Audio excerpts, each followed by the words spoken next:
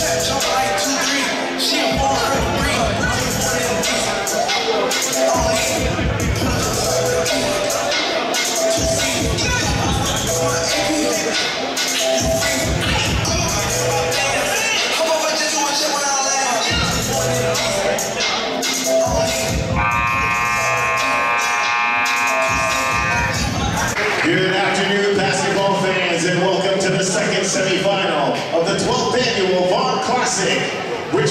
the Central Tech Blues versus Canada Top Flight Academy. And now let's meet the starting five for Team Jumpman Central Tech Blues. Starting for Central Tech at six foot four, at small forward, grade 12, number 33, Jamal Fuller. At six foot four, at small forward, number seven, John Clark. At six foot four, number 14, DeAndre Cooper. At six foot tall, at guard, number four, Jacob Masters. And starting at point guard at five foot nine, the lockdown defender, lights up shooter, number 10, Kelly Lambert Mullins.